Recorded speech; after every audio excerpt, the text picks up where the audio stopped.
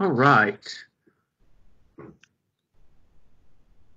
We are going to shift gears a little bit tonight as we start into a slightly different study. And as you can see here on the screen, I'm going to be looking at this character Nebuchadnezzar. Now, there are several reasons why I think this is important.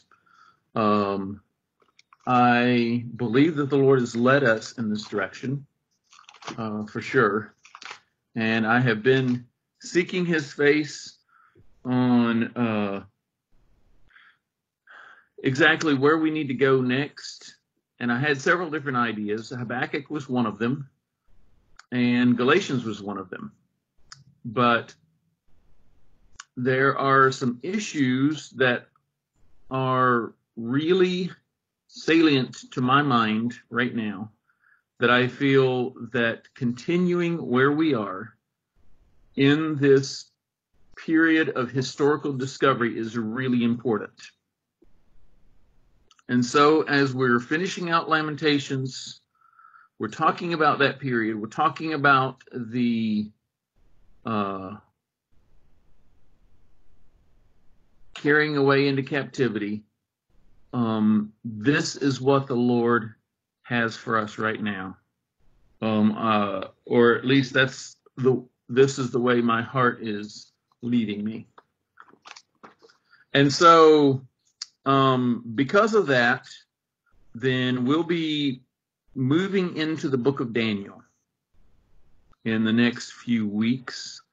Um, but I wanted to give a little bit more background on this guy, Nebuchadnezzar uh, whenever I started looking at him, uh, I, I, thought it was really interesting that there are um, studies of the prophet Daniel that have the picture of the uh, of the image and of the bears that go back several hundred years. So this is a picture from an, an early medieval uh, story uh, about Daniel's vision. And then this is actual artwork from Babylon. So this is what this is the style of art that they used. And this particular one is from the uh, Epic of Gilgamesh, which is a secular text, uh, uh, epic text from Babylon and is considered one of the oldest pieces of literature that we have uh, outside the Bible. Um, but let's talk about who Nebuchadnezzar is and what his kingdom is. So he is from a tribe or ethnic group called Chaldeans. The ancient state of Chaldea from the Middle East. Um, this is uh, a, a short article from uh, Encyclopedia Britannica. It says also spelled, and there's several different ones, Chaldea. Uh, the Assyrians spelled it Kaldu, K-A-L-D-U, Kasdu, and then uh, Hebrew spells it Hasdim. Land in southern Babylonia, modern southern Iraq, frequently mentioned in the Old Testament. Strictly speaking, the name apply, should be applied to the land bordering the head of the Persian Gulf between the Arabian Desert and the Euphrates Delta. So it's that that part of geography right there. Chaldea is first mentioned in the annals of the Assyrian king Ashurnasir-pal, though earlier documents referred to the same area as the Sea Land. In 850 Shalmaneser III of Assyria raided Chaldea, reached the Persian Gulf, which he called the Sea of Kaldu.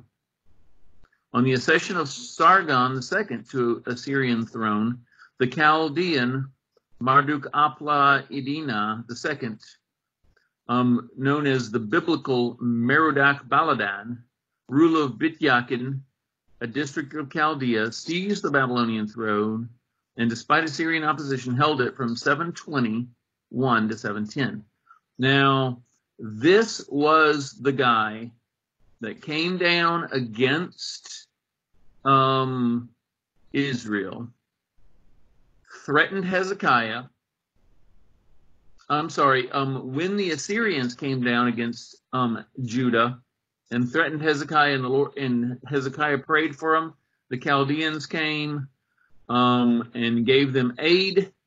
And then Hezekiah opened up all his treasure houses and the house of the Lord and showed him everything. Um, and the Lord told them then he shouldn't have done that, number one. And number two, that, you know, in the next hundred years, that they would be, all those things that he had showed them would actually be in the possession of the Chaldean uh, ruler. So this guy, Merodach Baladan, uh, ruler of Bit Yakin, um, seized the Babylonian throne and despite Assyrian opposition, held it from 721 to 710. He finally fled, however, and Bit Yakin was placed under Assyrian control again.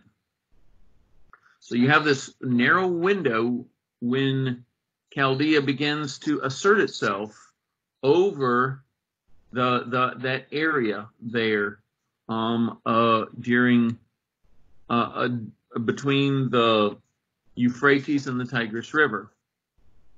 Um, they went back under the Assyrian Empire, but then with this decline of Assyrian power, I'm sorry, uh, a native governor, Nabopolassar, was able in 625 to become king of Babylon by popular consent and to inaugurate a Chaldean dynasty that lasted until the Persian invasion of 539 BC. And the prestige of his successor, known as Nebuchadrezzar the, the second, the one we call Nebuchadnezzar, he is the second of the Chaldean dynasty. And Nabonidus, his his grandson, um, who saw the handwriting on the wall was such that Chaldean became synonymous with Babylonian. Okay, so the Chaldean um, dynasty ruled that area of Babylon, um, and it became uh, known as the Babylonian Empire. Okay. Nebuchadnezzar himself in the scriptures is mentioned 88 times, so he's not an insignificant character. Now we think of him as, you know, he's just mentioned everywhere. You know, he's such a big, larger than life character because um, we grow up listening to the stories of Daniel and the, and the three Hebrew children, right? Or Daniel in the lion's den. Um, and so Nebuchadnezzar is this larger than life figure, even in um, Christian and biblical circles. And um, I have here documented he's actually mentioned two times in the historical books in Second Kings 24 and 25, and pa- the parallel passage being Second Chronicles 36, which is almost the end of the book. Um, then he's mentioned throughout the book of Jeremiah, and he's mentioned in the first five chapters of the book of Daniel. And besides that, besides those two, um, these two books, Jeremiah and Daniel, besides these two, the only other mention is a couple of times in the book of Ezekiel chapter 26, 4, chapter 29, 18, verses 18 and 19, and chapter 30, verse 10. Okay, so most of our information about Nebuchadnezzar comes from Jeremiah and Daniel. I had in my mind before I read this that um, he was in Isaiah as well, but he, he doesn't show up there. Isaiah was mostly directed, even though Isaiah was from the southern kingdom, um, he was during the, the period of of of Uz, Jotham, Ahaz, and Hezekiah. So he was during the Assyrian kingdom. Is when he preached and when he um, uh, ministered. And so, um, and so whenever it uses the term of God shaving with a borrowed razor, it's not talking about Nebuchadnezzar, it's talking about Assyria, Assyria, and the city of Nineveh. Okay, so just a little bit of historical background there. Now, this study, um, another reason that I want to talk about it is um, I have been struggling with some concepts. All right, so let me give you a little bit of a caveat to this study, if you would allow me. It's this isn't going to be political per se, um, and I know in an election year this can be very dangerous. Um, I don't want to be political, but I do believe that the truth has something to say about all things that happen in this world. And I think that the truth should be applied equally in all cases. It has something to say about people, about their ideas, about um, our theories, about what we believe. And so, um, because of that, um, I think that that is my perspective that I'm coming from in looking at political theory, um, it seems to me that the political dynamic in Babylon is closer to our status in this world as pilgrims and captives. However, I say that at the same time, I don't want to have a victim mentality, and I don't believe we should have a victim mentality as Christians. That, oh no, you know, the world is out to get us, you know, we're being persecuted. I don't see actually any persecution um, I maybe slight discomfort at times. We definitely um, have some people who um, who um, contradict us in the world of ideas, in the forum of ideas in which we stand for truth. We are going to have some contradictions and we are going to face some debates and we should be ready to answer those debates. But that's just normal um, process. I value debate. I value hearing the uh, other side. Um, I think that's the only way that truth can survive is if there is um, debate. I was going to say honest debate, even if it's not honest. Um, being able to allow other ideas to be heard and to be aired um, pre- preserves us from a from a gridlock of thought that will actually stamp out the truth. So I'm not again, not, so I'm not at all for um, only certain ideas prevailing. I believe that the um,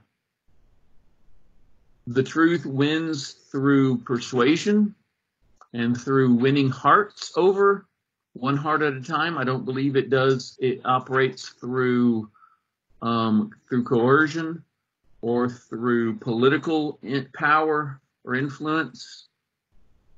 Um, I, I see that actually as very detrimental and usually has the opposite effect of what we want. Um, Christian nations have risen and fallen over the last 2,000 years. You know, um, whenever the Goths invaded Rome in 400 AD, the Goths were a Christian nation. Odoacer, um, the king from from what we think of as present day Austria, was a Christian king, and he came conquering uh, and uh, attacking them because of the paganism that um, that Rome had fallen into after they had turned to Christianity 200 years previously. So France became, um, you know, the Christian nation. Then that moved over in England, and we know, you know, some of the um, processes of reform, you know, in northern northern Europe you know, in, in Germany and in Switzerland, um, became a haven for Christianity. and preserved it in, in many ways. And then it came back to Italy during the Renaissance, right? And cities like Venice and Florence began to flourish and publish Christian literature that hadn't been published in a, a thousand years. And so we have this um, this process of cyclical movement, and God always allowing the truth to continue, no matter what the political and social climate is. And then, on a personal note, I believe that God is a social God. He's created human society. Society is in a fallen state and we as humans continue to experiment with society and politics um, in very creative ways. And I am eminently curious to understand that. And so I'm definitely coming from a, a curious and an investigative perspective, you know, wanting to understand what are the power dynamics that um, that God has instituted in His Word and how do we as Christians align, understand, and align with what He is doing? Right. So, um, this this class is going to be focusing on power and the constructs of how this operates. Okay, so let me back up and begin um, with looking at this period of time historically, theologically. Okay? So, in order to do that, let's go to the Gospels. Let's go to the Gospels, Matthew chapter 1.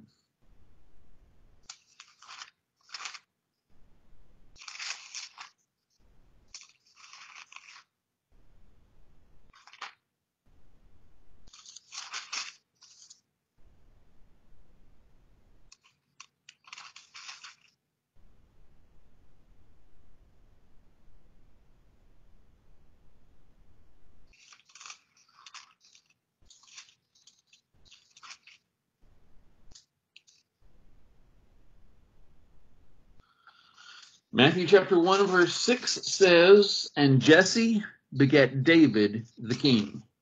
And David the king begat Solomon of her that had been the wife of Urias.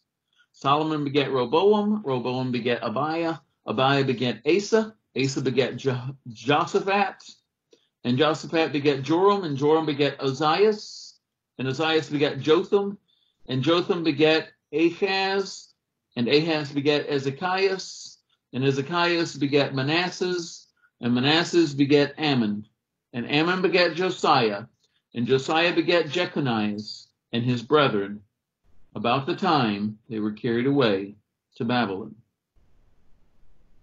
And after they were brought to Babylon, Jeconias begat Salathiel, and Salathiel begat Zerubbabel.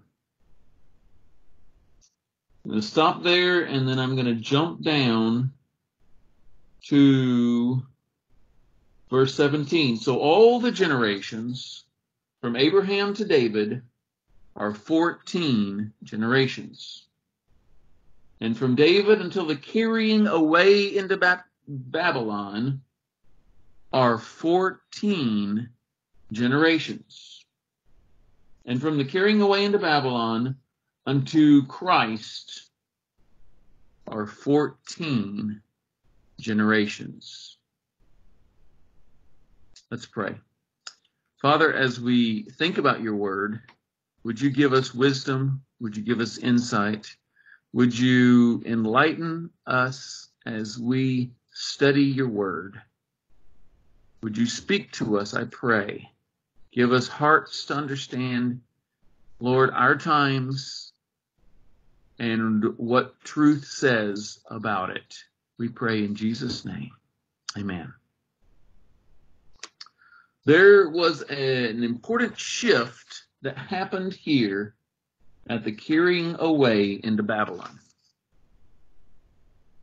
And Nebuchadnezzar was the instrument for that. Um, I said before that he wasn't mentioned in Isaiah. However, he was mentioned in Jeremiah over and over again, and he was called Nebuchadnezzar the king, my servant. And so God considered Nebuchadnezzar his servant. And we're going to see um, his his service in many different ways. And I I just think it is amazing how God chose to use this king and enter his um, use his um, ambition and his domination and bless him in those things and use him to change the face of the geography. He affected migrations. He affected um, political boundaries. And most of all, of course, he accomplished God's will. Um, and so in these days, I've been very concerned about um, politics, about you know injustice and truth. And one of the one of the verses that has come to my mind over and over again is here in Ecclesiastes chapter 4 and verse 1. It says, So I returned and considered all the oppressions that are done under the sun. And behold, the tears of those as were oppressed.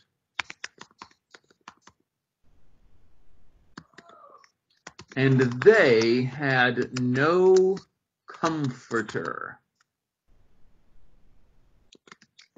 And on the side of their oppressors, there was power. But they had no comforter.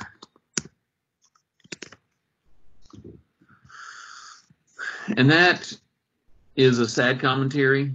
It's a true commentary. And it really catches me.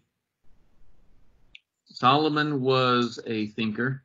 He followed um, David just as we read. And Solomon was given a um, a conditional a conditional um, covenant.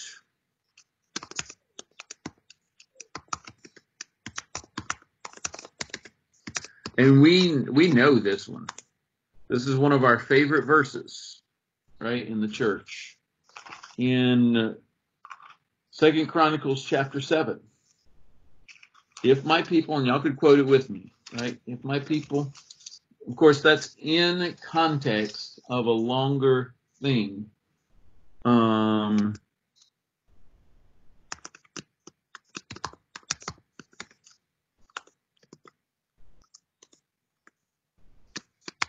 in the surrounding verses.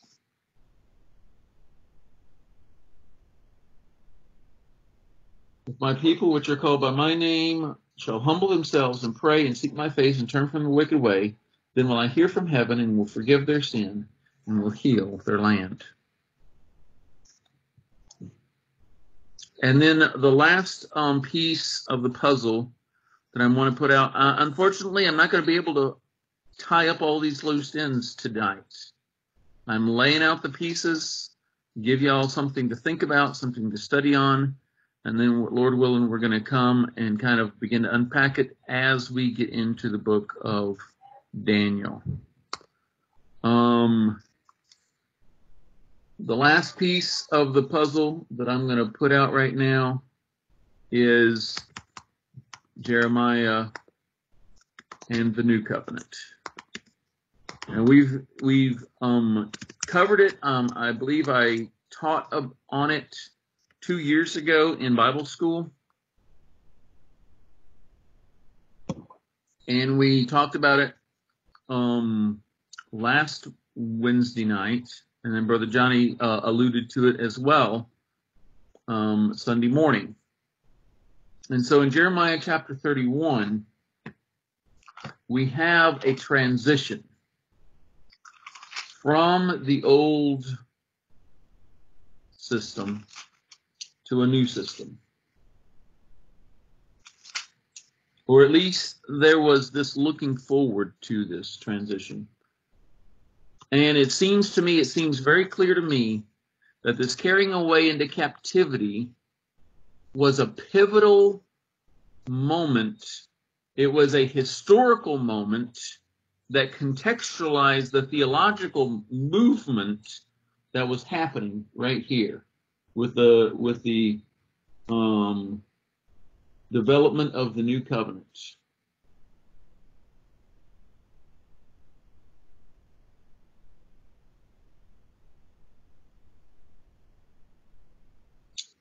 Jeremiah 31, 18, I have surely heard Ephraim bemoaning himself thus. Thou hast chastised me, and I was chastised, as a bullock unaccustomed to the yoke. Turn thou me, and I shall be turned. Thou art the Lord my God. Surely after that I was turned, I repented, and after that I was instructed, I smote upon my thigh. I was ashamed, yea, even confounded, because I did bear the reproach of my youth. Is Ephraim my dear son? Is he a pleasant child? For since I spake against him, I do earnestly remember him still. Therefore my bowels are troubled for him. I will surely have mercy upon him, saith the Lord.